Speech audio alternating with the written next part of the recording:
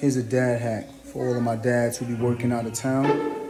Number one, tell your wife, girl, baby mother, bring the kids where you at. Pow. I got three out of four.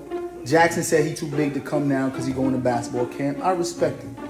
But you see, I got Cairo, Kaz, and Coda. Coda's in the middle. Cairo and Kaz protecting the east and the west. Got the little dad fort here so nobody falls and busts their mouth, okay? That's what you gotta do. Pizza is on the way and Disney Plus is on TV. See how I do that? Don't say I ain't never tell you nothing. Here's the most important part. Here's the most important part of the whole equation, right? These kids done travel with their mom about six hours, right? They went from Atlanta to Toronto, Toronto to Ottawa. Where's mom?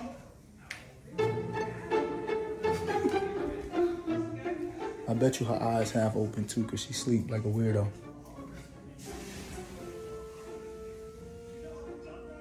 She put my shirt on her pillowcase because she like to sleep like she's smelling me. You okay, Snookies? Hmm?